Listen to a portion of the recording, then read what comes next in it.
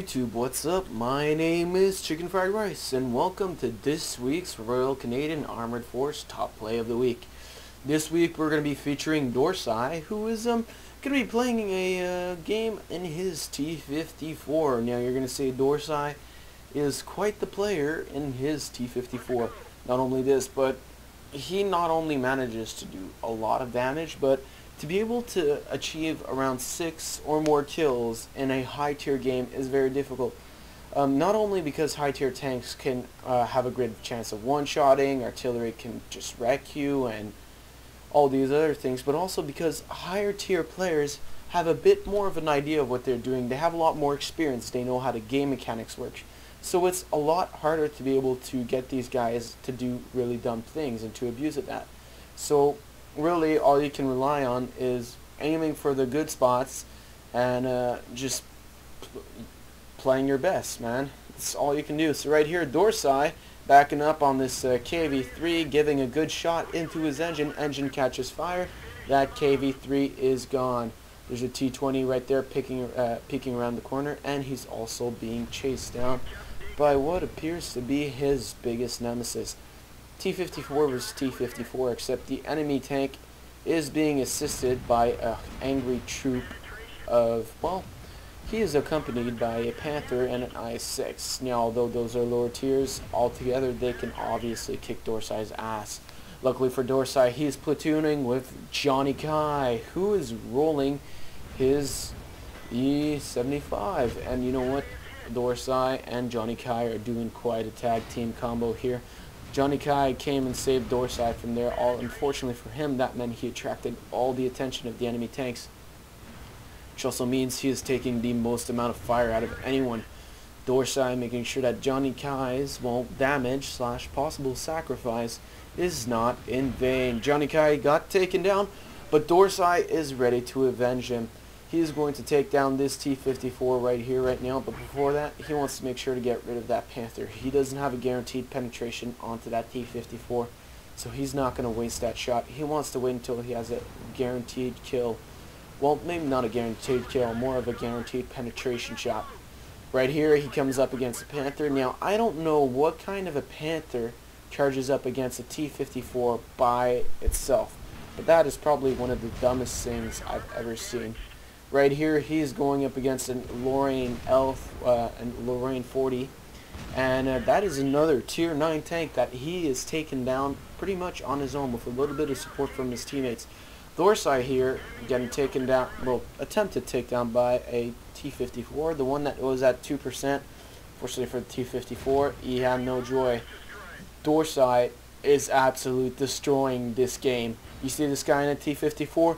I recommend you uh, think about engaging him. He is doing some serious, but serious damage. He's already taken out four of the enemy tanks, and he is not done yet. Now, even if he is a top tier, once you hit the tier 9s, tier 8s, it is very difficult to get at these games where you hit that 6, like I said at the beginning. I've only done it once in my Type 59, and even then, it was quite an impressive sight. Fortunately for me, I never recorded it. But Dorsai here, being a little bit smarter than me, decided, hmm, I'm going to submit this for Top Plays of the Week. Speaking of which, if you guys want to be seen on Top Plays of the Week and you are a Royal Canadian Armored Force member, please submit the uh, videos on my uh, email, which is posted on the World Tanks uh, Royal Canadian Armored Force uh, forum, also known as RCAF for short. So Dorsai here, forgetting about this guy, uh, no, he's not going to let that Tiger 2 live. He's like, mm, I think, you know what, let's just kill him while we're at it. It's not like if it's going to require any more effort from him, he's just breezing through the whole entire team. He, he, not single-handedly, but with help from his teammate, was able to um, not hold out a fight, but completely annihilate it. There's a difference between holding out off an offensive and completely destroying one and turning it into your own terms. Right here, he is coming up against a T26E4, the Super Pershing. He is going to go in there and he is going to, hopefully, which is probably going to happen, he's going to destroy that Super Pershing without any hesitation.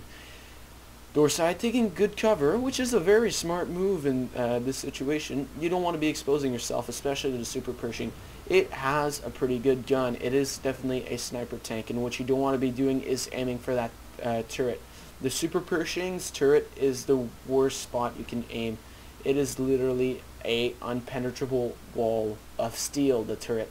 If anything, you want to be aiming for the main frontal armor if you come head on to one it is almost a guaranteed penetration if you have a high, well, a good enough gun, obviously.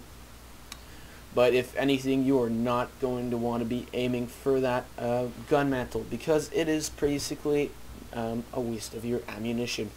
Right there, AIS pops up on Dorsai's horizon. You know what? He's not done yet. Even if we're going to win, well, even if they are going to win this game already, he's going to take the time to completely destroy another tank. Why not inflict more casualties on the enemy team? Why not? It's fun. Well, I don't see the fun in it. She does, obviously. She is taking fun terrorizing poor innocent children everywhere trying to play some World of Tanks. Here he comes, coming up against IS. IS doesn't even stand a chance. He's scared for his life, that IS. He's just running. He can't even turn around his turret. He doesn't know what to do. Dorsai gives him a mercy kill. Says, you know what? I'll let you die this time. Next time, it'll be different. So as usual, guys, thanks for watching. Leave a comments below. Please subscribe. And if you have any submissions for the RCAF Top Plays of the Week, please do not forget to submit. Thank you.